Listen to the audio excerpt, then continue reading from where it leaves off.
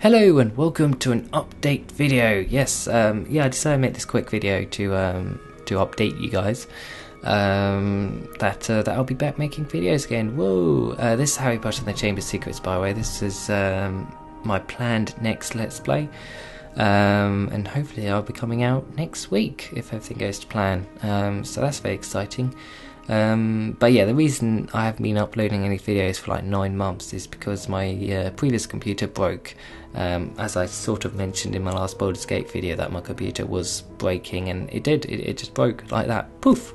Um, so um, so yeah, but I'm back making videos. So uh, yeah, so Harry Potter's back. Um, I do eventually plan to uh, play all the Harry Potter games. I've done the Prisoner of Azkaban. Next up is the Chamber of Secrets. So I'm doing it in a bit of a random order, but oh well, never mind. Um, I was planning to get back to Oblivion as well. Um, Turn Nord is still alive, he's just aimlessly lost in Oblivion right now.